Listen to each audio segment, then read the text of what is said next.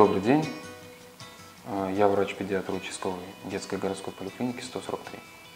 С первых минут жизни новорожденного родителей беспокоит вопрос здоровья детей.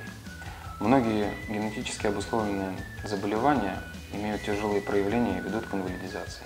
Именно поэтому был разработан метод исследования, названный скринингом новорожденных. Что такое скрининг новорожденных?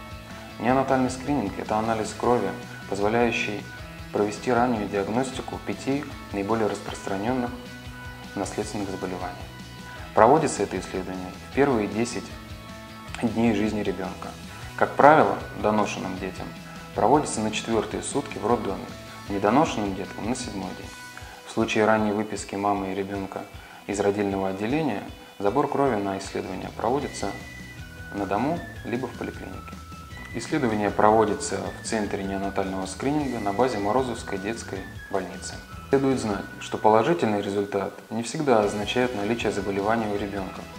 Для полной уверенности родителям выдадут направление на дополнительные исследования к соответствующему специалисту. Такие ранние сроки проведения анализа обусловлены тем, что наследственные заболевания представляют существенную угрозу для здоровья ребенка.